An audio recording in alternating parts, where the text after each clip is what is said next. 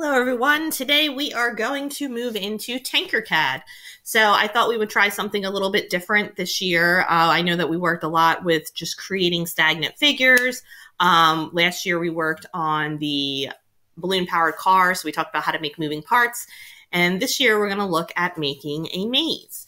So under the January assignment, there is uh, Tuesday, 119, which is the one that we're starting with today. Today we're going to work on designing our maze, and we will hopefully do that within Google Drawings itself. And then you'll be able to use your Google Drawing as a template to create it in Tinkercad later on this week.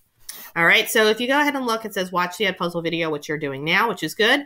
Then it says click the link below to access the maze template in Google Drawings. So this is the Google Drawings template over here.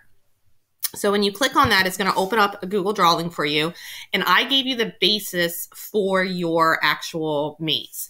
All right, and this is what we're going to be doing. We're going to be creating a square within Tinkercad. These are the walls, right? That's why they're kind of grayed out in different shades. That's like, imagine the walls coming up. And then you have a start point and an end point, which will be holes that we cut into the template itself. So I gave you the first wall so that your ball can roll down this first wall. So your I, job today is to create the rest of the maze, what the maze is going to look like. Before you actually try to create this within Google Drawings, I suggest using some paper and drawing it out by pencil first. So I gave you kind of an example of different ones that you can do. If you want to move the hole, if so, if you look at, oh, sorry, if you look at this design here where the hole starts here and ends here, or in this one where the hole's here and it ends in the middle of this S here, you can do that. So you can just click and drag the hole to wherever you want it to be. All right, so that's fine. But I would suggest either getting um, a post-it note or a scrap piece of paper or something and figuring out how you want your maze to um, look.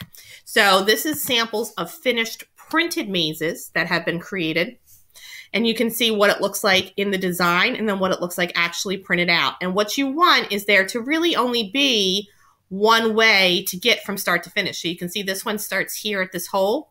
And then if you go through here, you can come around this way and get to here. This one, you can come up to this side and get to here. So there's all different routes that you can get to it, but you do have to follow the path and there's little traps. So see how they have this little box here?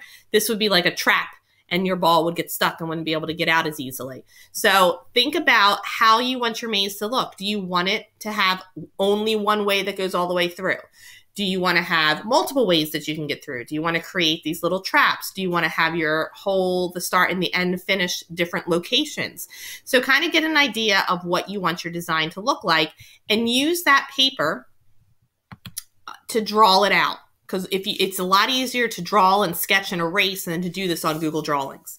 So once you have it all drawn out and you're happy with the way that it looks, you're then going to come into here and you're going to use the rectangle tool to create your different walls. So I say rectangle tool, but really, if you want to use different shapes, that's fine. Just remember that you are going to need to recreate this within Tinkercad. So if you get anything that's too complex in design, it's going to be a little bit harder to create within Tinkercad itself. So try to kind of like, I like the idea of sticking with rectangles because then I know when I go to actually draw and design this, um, I'll have rectangles that I can work with. So you just click and draw. The paint bucket here changes the color to red. And then you can actually use the arrow keys on your keyboard to walk things around. You can also remember copy and paste. So let's say I want another one of these walls. I can say control C to copy and then control V to paste. And then I can walk this with the arrow keys to wherever I want it to be. So what I want you to do today is create your maze design. Sketch it out on paper, create it in Google Drawings, when you are done, you can then turn it in through here, and that way I can see your completed design, and then you'll use this to create your uh, Tinkercad design later. All right, if you have any questions, as always, you can come back into the meet. You can send me a chat on GoGuardian. Either way, I will be available to help you. And um, hopefully this is something fun and different to try. Good luck.